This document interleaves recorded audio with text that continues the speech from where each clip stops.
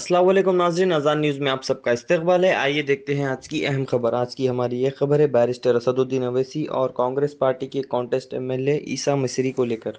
Social media पर एक video बहुत ही वायरल हो रही है, जिसमें बैरिस्टर असदुद्दीन अवैसी कर्नाटका के जलसे में बड़े के गोश की और कलेजे की तारीफ़ करते नज़र आ रहे हैं। फिर वहीं पर बैरिस्टर असदुद्दीन अवैसी के इस बयान का रिप्लाई दिया कांग्रेस पार्टी के कॉन्टेस्ट एमएलए ईसा बिन उबैद मिस्री ने। अब ईसा मिस्री का ये कहना है कि अगर असदुद्दीन अवैसी इस तरह की बातें करेंगे तो हिंदुओं के दिल को तकलीफ़ पहुंचेगी और वहीं पर बीजेपी पार्टी आएगी और इस बात का फ़ायदा उठाएगी। तो आइए हम आपको दिखाते हैं ये दो तरफा न्यूज़ के बैरिस्टर असदुद्दीन अवैसी ने क्या बयान दिया। फिर उन्हीं का रिप्लाई देते हुए ईसा बिन उबैद मिस्री ने क्या कुछ कहा। आइए हम आपको दिखाते हैं। अभी तक आपने हमारे चैनल अजान न्यूज़ को सब्सक्राइब नहीं किया है तो सब्सक्राइब कर लें ताकि शहर से जुड़ी हर ताज़ा और अहम खबर आप तक पहुँचती रहे। और फिर आप अच्छा अब आप ये बैन कर दिए। ये पूरे बैन करें ना। क्रिकेट का बॉल किससे बनता? है लाल गोला। कैसा डाला अपना सिराज? आए हाय। बुमराह भी खूब डाला। जीते हम। वो बॉल किसका बनता? बकरी के चमड़े से बनता। कैसा बनता बाल वो? कैसा स्विंग होता? यूँ यूँ। होता नहीं होता। कैसा बनता वो? मुर्गी के चमड़े से बनता। बकरी के चमड़े से बनता। क्रिकेट खेलेंगे मगर तू मटन नहीं खाना। ये क्या बात है? आपको मालूम, अगर आप बड़े का कलेजी खा लिए। बड़े की खाए कलेजी का। खाए ना? कितने लोग खाए? हाथ उठाओ। या नहीं खाए। सलमान को खाए तो खाए, कोई चुन नहीं। आपको मालूम, एक कलेजी एक कलेजी अगर आप खाए तो डेढ़ किलो दाल से ज़्यादा उस कलेजी में ताकत होती। मैं ये नहीं बोल रहा दाल नहीं खाना खाना। मैं तो बहुत मज़े से खाता हूँ दाल को।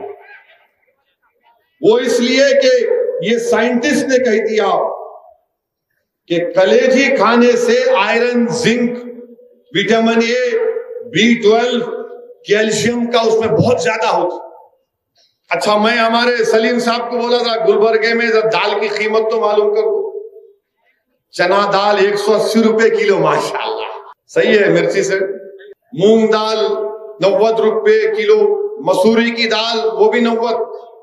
तूर दाल एक सौ पाँच रुपये और बड़े की कीमत दो सौ अस्सी रुपये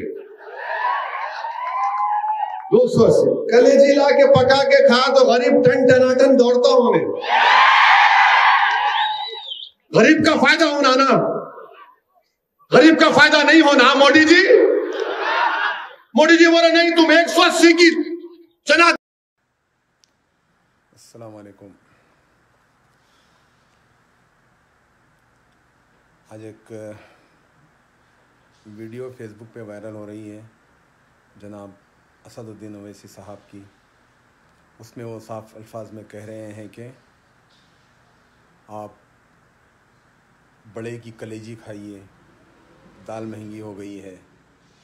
बड़े की कलेजी खाने से बोल के बहुत ही यानी कि आप वो वीडियो ख़ुद देखिए, उसके अंदर बहुत ही गलत अंदाज से बताते हुए वो खाने से दौड़ते उन्होंने वहाँ पे मतलब बहुत ही वो क्योंकि अब सब देखते हैं मेरा वीडियो, बच्चे, छोटे, बड़े। तो मेरे को ये उम्मीद नहीं थी असद भाई से कि वो इस किस्म की बातें करेंगे।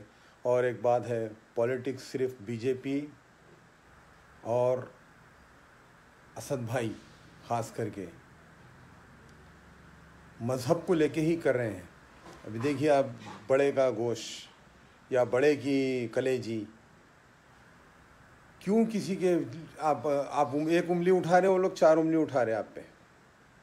बहरहाल, गुजारिश करता हूँ डायरेक्ट असद भाई से, हुआ तो फ़ोन करके भी उनको बोलूँगा कि भाई थोड़ा सा आप कौन से हिसाब की पॉलिटिक्स कर रहे हैं? मैं भी एक आम आदमी हूँ, एक ज़माने में एम आई एम का वोटर भी रहा हूँ मैं, कभी भी एम आई एम को ही वोट डाला हूँ, मगर इस किस्म की पॉलिटिक्स बंद करिए आप।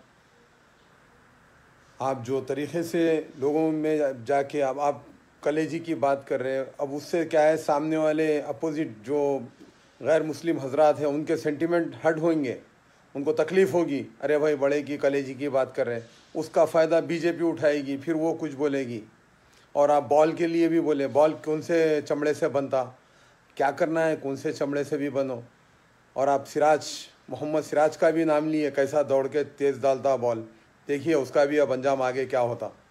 उसको भी जो है, इस, ये आपके अल्फाज से उसको भी तकलीफ़ पहुँचेगी और हो सकता उसके ऊपर भी कोई, अब अब तक तो उस पर नज़र नहीं थी। अब ख़ास करके आप उसको याद दिलाए, हमारा बच्चा, अब वो लोग याद रख, अब याद रखते अब तुम्हारा बच्चा बोल के। प्लीज़ असद भाई, आपसे गुजारिश है कि कोई भी मज़हब के लोगों का सेंटिमेंट हर्ट हम नहीं करना चाहिए। हमें रोका गया है ऐसी चीज़ करने के लिए। देखिए, कुरान में सूर्य अनाम में आता है कि जो है, आप किसी के मबूदों को बुरा मत कहो, वरना वो तुम्हारे अल्लाह को बुरा कहेंगे। तो हमें यहाँ पर रोक दिया गया है। उसके बावजूद हमारे पास से, आपके लीडर्स के पास से हमेशा कुछ ना कुछ कहा जाता है और उसकी वजह से वो लोग और कुछ ज़्यादा करके हमारे सामने पेश करते हैं।